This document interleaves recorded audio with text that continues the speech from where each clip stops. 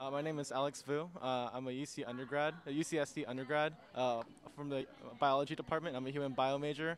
I'm also on the associated students, so uh, worked a lot of um, ca- campus leadership, and this is the first time I've seen a lot of people, a lot of students step up in their own leadership. It's really beautiful. I feel threatened.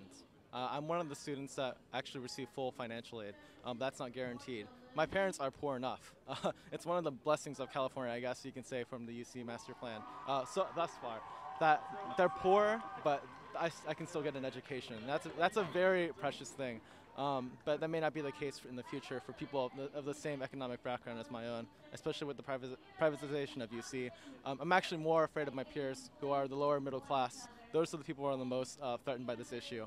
It's a very uh, impending kind of doom for our university, and it's really important that our students actually take the brunt work because other other people are not. Uh, other people who are controlling basically uh, the UC system are not. So I'm very proud of my school, and I, I can't wait for I can't wait for it in a couple years when I look at future students and my and my children. We'll, we'll finally have a really really good uh, education system to be part of.